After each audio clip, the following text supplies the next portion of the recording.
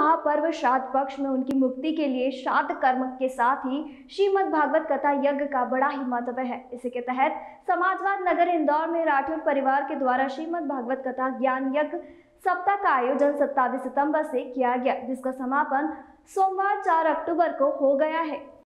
इंदौर शहर के समाजवादी नगर में श्री बड़े रणजीत हनुमान मंदिर पर सात दिवसीय श्रीमद् भागवत महाकथा का आयोजन किया गया। आयोजक समिति की संयोजिका अनीता राठौर ने बताया कि 27 सितंबर से आयोजित श्रीमद् भागवत कथा का 4 अक्टूबर को समापन किया गया। यह आयोजन उनके पूर्वज स्वतंत्रता संग्राम सेनानी स्वर्गीय जगन्नाथ राठौर की स्मृति में किया गया।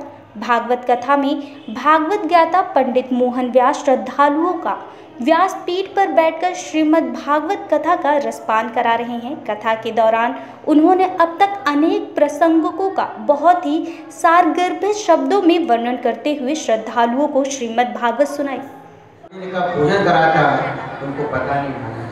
क्योंकि भोजन बने तो भोजन करें। पूछा है, एक पड़ोसन ने, सुशीला, क्या बात तुम्हारे घर का धुआँ निकलता नहीं चूल्हे का? हाँ सखी।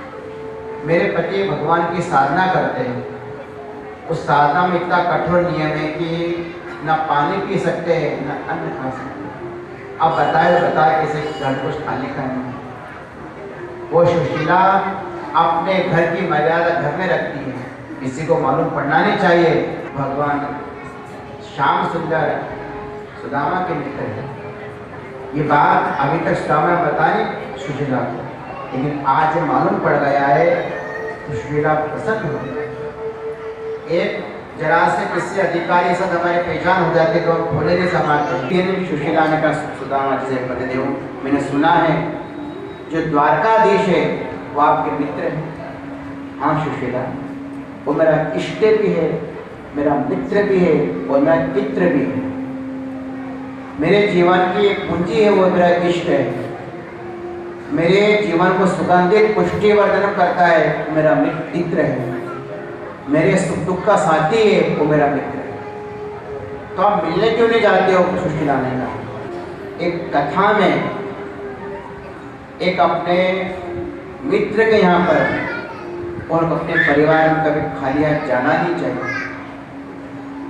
कथा में मित्र के यहाँ पर एक मंदिर में और परिवार में कभी किसी घर जा खाली जाना नहीं चाहिए। श्रीमद् भागवत कथा के दौरान पंडित मोहन व्यास ने जन्म कृष्ण उत्सव, बाल लीला, कृष्ण विवाह, सुदामा चरित्र, राज परीक्षित मोक्ष के साथ ही रासलीला महोत्सव भी मनाया गया। इस अवसर पर सभी श्रद्धालु जमकर नृत्य कर उठे।